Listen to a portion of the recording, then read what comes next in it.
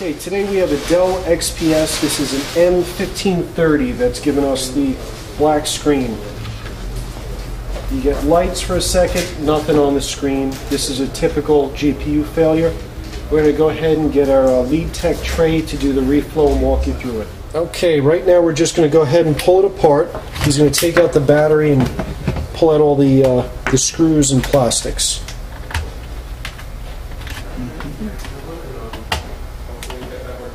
We get a lot of this type of work at Reboot. We go through anywhere from uh, 200 to 500 laptops per month um, that get shipped in from all over the country. And it's very, very common to see uh, video problems with even the, uh, the Dell style laptops. Mostly HP that comes in here, and you've probably seen our DV9000 video.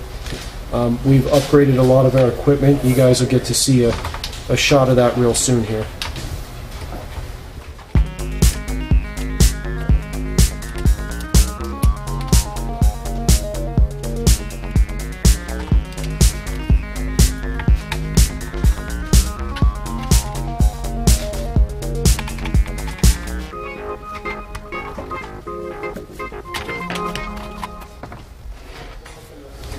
And if this is your first time pulling the laptop apart, you're definitely going to want to get a piece of paper and a pen and write down where everything went from. Or um, you could always videotape it and go back to it later to see where everything went. And we get calls all day trying to figure out what goes where, and it's a lot harder when it's apart trying to figure out where it all goes back together. So if you keep good notes, you won't have any problems. Lots of screws. Or if you've done thousands of them, you just kind of remember it.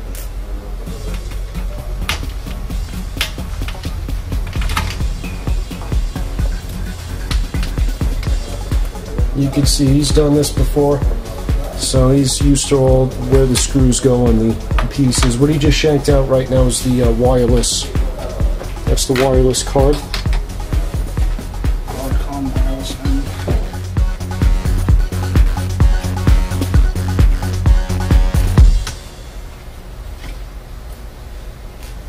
And this is actually a re-repair on this laptop. What's very typical on the XPS series is next to the GPU, which the GPU is where he's pointing to, the actual um, rivet that um, you screw down into breaks off of the board. So you definitely want to epoxy that back in place. I recommend JB Weld, or you can make up a little bracket to hold it back in place.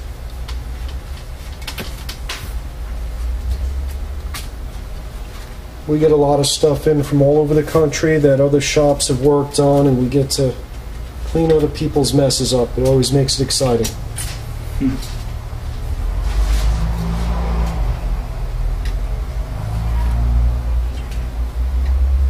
The tape that you see on there is just to keep the um, chip from shorting out when the copper's on top.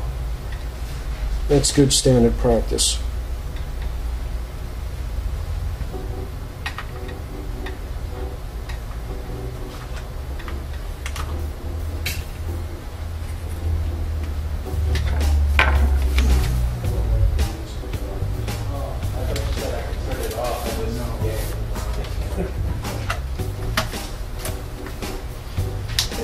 You got to be really careful in the front there with the uh, ribbon cables. They're very easy to tear.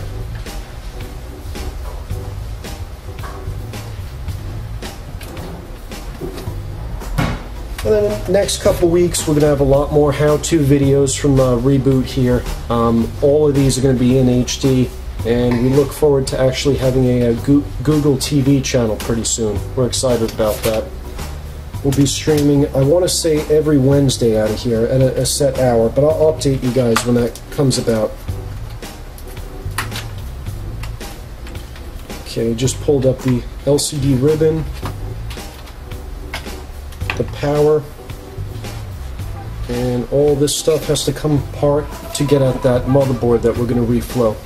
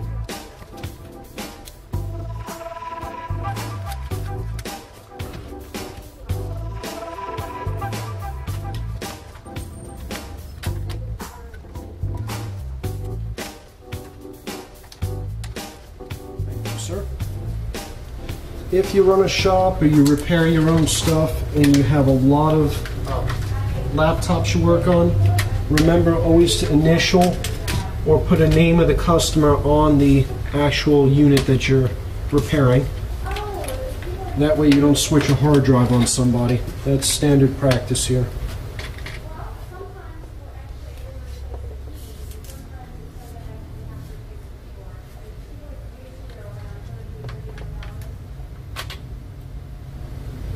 And Dell does a really nice job of shielding everything. HP, the whole uh, motherboard has uh, places where there's stickers, but it's Dell actually shields the whole top piece, which is a great practice. That, if you have something spill through the keyboard, it doesn't spill all over the, the motherboard.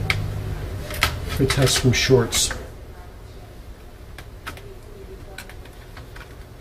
But a typical repair like this for us, depending on how bad it is, is anywhere from an hour and a half to sometimes three hours. We gotta really rework a chip. And we stress test it for a couple hours to make sure um, it performs good. We stress out the GPU to make sure that it it's still stable. And we have a very good success rate on these.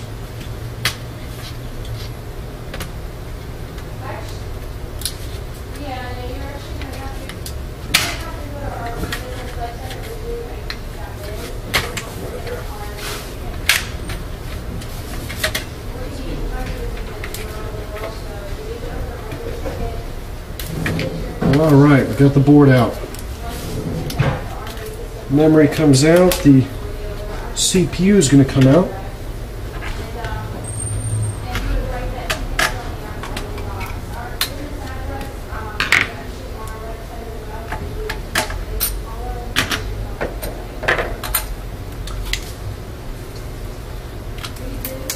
He's going to remove all the stickers. That way when he heats up the whole board, it doesn't uh, pull components off.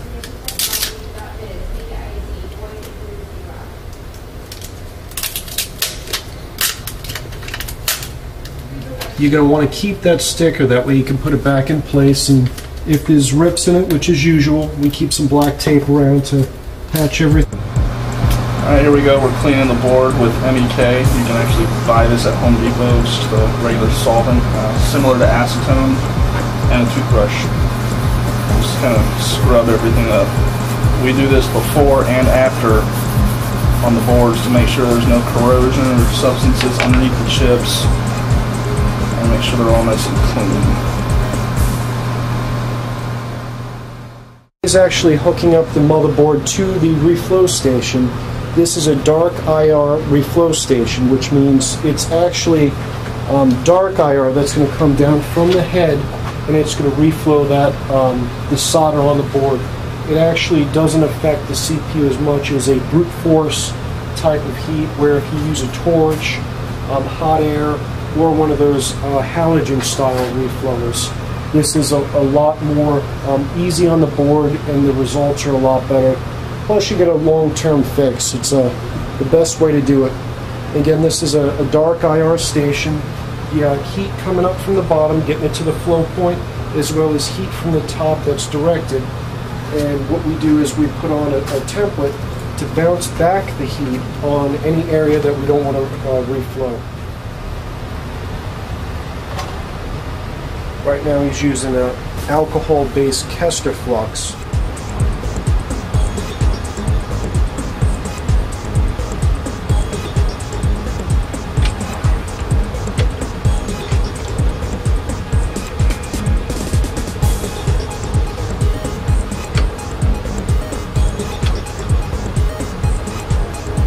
You might not see from this angle, it actually has a uh, thermal sensor that lets the machine know when it's exactly at the flow point and shuts it off accordingly.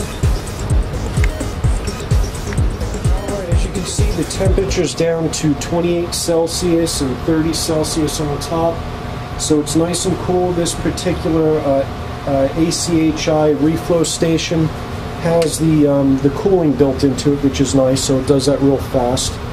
Trey's going to pull it off the unit. We're going to go ahead and test it out.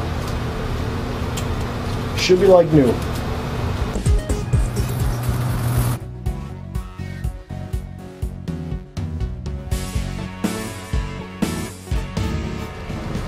All right, we're looking at the rivet right over there. Trey actually just resoldered that back into the board. That's what actually came off the board and caused that uh, rivet to, um, a- not rivet, but the heatsink actually to move to the side a little bit, which helped it overheat. So soldering this down with some good solder is going to help it stay down. Um, we're also going to put copper on that to drop the temperature. That way it don't overheat in the future. All right, right now he's going to pretty much put all the basics back together just so we could test it to make sure that the reflow was successful. Um, now that we got that rivet in place and we reflowed the GPU, we'll put a little bit of thermal compound on that and the uh, copper with the heat sink, and I think we should be in pretty good shape. But we'll go ahead and test it out and show you guys live how that works. We have pretty good success with this. Nine times out of ten, the reflow does it. Sometimes we do actually have to pull the chip off the board if we have a pull of solder, and um, take all the solder balls off and actually reball it. Now he's putting a thermal paste on. More is not necessarily better. Yeah, just a nice thin coat.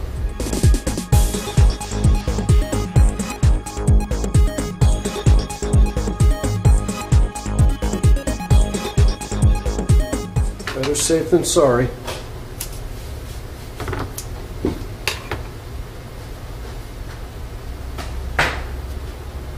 And while we're talking about copper, do not use pennies. I don't care how many videos you've watched that you see people putting pennies in them. It does not work. Contact. And Get not yourself really some copper. Yeah, and it's uh, like Trey just said, it's not 100% copper. What we use here is 100% copper. It's a little bit over a mil. Um, good stuff. It's just, it's the way to go. When you actually test with a, a penny versus this copper, you'll see a good 5 to 10 degree difference. It really does make all the difference. Looks good.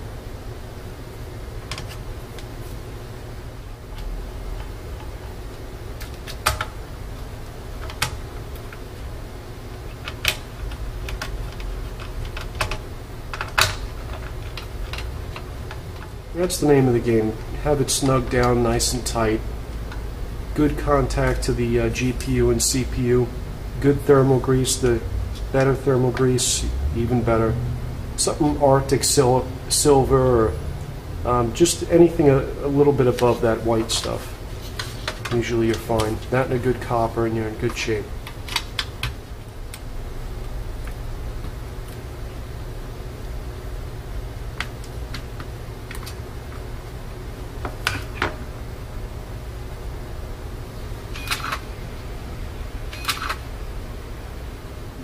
Got dough. video. If you guys can make that out. Woohoo! So she's fixed. Now we got to put her all back together. But if you guys run into the same issue and you think this is above uh, what you can handle, we do a flat rate fix for this. It's 125. That includes the uh, shipping back to you. Um, send it on into Reboot IT. Go to our website, rebootit.biz, for more information. Again, this was a Dell XPS. This particular model was an M, is this a 13? 15, 1530. All back together. And party lights. Dell, happy, happy. All right. That's a Dell XPS reflow.